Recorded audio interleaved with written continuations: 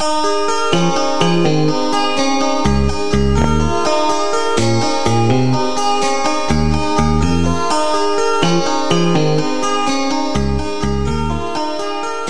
was in Spain, uh, working in Spain and uh, down on the Costa doing bars and painting people's vehicles. Same as I always get up to. And uh, a film company for uh, Channel 4 approached me. This has been, oh, I can't think what year this was, but anyway. Long and short is they were really up for doing footage of me, but the, the problem was they wanted me to go where I'd been working beforehand in previous years, you know, because that's because I travelled around the world, in Ireland and places and on the continent. And they wanted me to go back to where I'd been working. Unfortunately, uh, quite often the only people that can afford me are people that have lots of money. And in some of these places they have lots of money because of illicit means, so I obviously couldn't go back and show who my patrons have been at that particular time. So hence, uh, hence I had to turn down the offer. They were, they were going to spend three months basically flying me around, the, you know, around the place and doing footage, but I declined anyway. I ended up coming uh, back here to England and painting a Helter Skelter, which I heard about. I had the job, word of mouth. I was actually in the Sahara Desert, and uh, and someone came up and told me a verbal message from a Miss Andy Hope who owns a circus that someone wanted me to play Helter Skelter, really wanted my work. And I I delivered thought- you a verbal well, it message. took, to me, it took me another month to get back to um, back to Spain, and I rang the man, and, and believe it or not, the message had taken six weeks to get to me, and it was correct word for word, unlike a Chinese whisper. Normally, you think, no, that can't be real, It- it- but it was real, and I did. I came back. I spent three months painting that Skelter anyway. Which the following season, you know, I love this, blew down in a hurricane in Stoke-on-Trent. Who says they don't have them here? I'm serious. There's a big picture frame there with half of it on right beside you. See with a picture frame with all the photographs in it? That is the Helter Skelter. Well, half of it.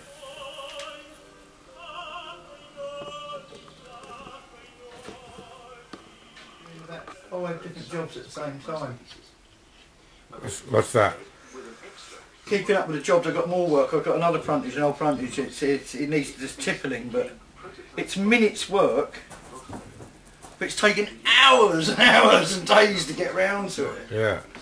Same old story, isn't it? anticipation of his wedding to Eurydice, Orpheus of laughter. Rosa. That blocking your light out? No, go on. Got skylights.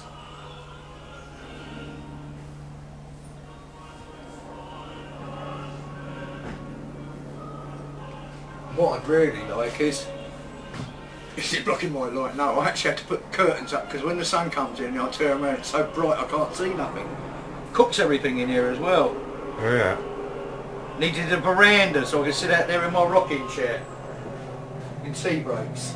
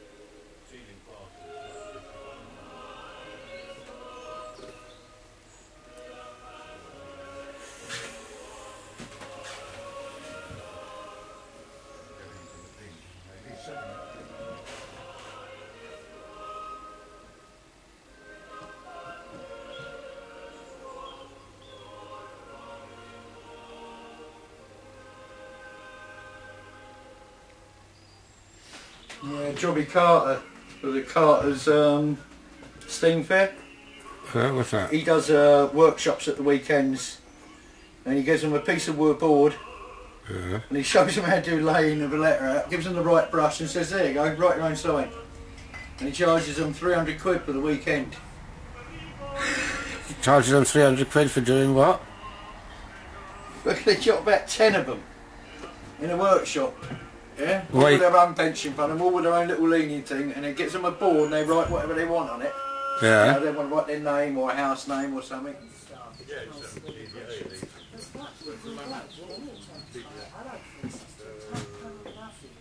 He said it wasn't allowed under the United Nations resolution imposing a no-fly zone on Libya. General Richards also welcomed the decision to abort an RAF bombing raid last night because civilians had been identified in the target area. He said the coalition didn't want to fall into a propaganda trap set by Colonel Gaddafi. The head of the Arab League, Amr Moussa, has stressed his support for the military action day after saying the Western airstrikes have gone beyond the UN's aims. Mr Moussa said he'd been assured that the protection of civilians was the main objective. After speaking to Mr Moussa, David Cameron said they were on the same page. The senior general in Yemen's army has his support for protesters who want President Ali Abdullah Saleh to stand down. Other officers have voted to join him in backing the demonstrators. President Saleh has faced increasing criticism from within his administration since the killing of more than 50 people at a protest on Friday. Two different plumes of smoke. It's very concentrated work, isn't it? It's, yeah, it, it, tension, anything. It's backbreaking it, and it, I find I only do, I have to do it in stages, literally. Yeah. You know. There's a lot of leaning over. I've got no choice in that. I now started this. It's because I started. I've got to finish. So I won't. I can't even stop when I finish this board. I've actually got to do all the white lining, Yeah, and then I can stop. Because otherwise, I come back and the hand won't be doing the same thing. yeah. The brush, work does actually. The brush. The time I've sat down and gone away, I could have done it anyway, Yeah. regardless of the backache. It's interesting. be- The word paint has the word pain in it. pain tea. I've not quite worked that one out yet.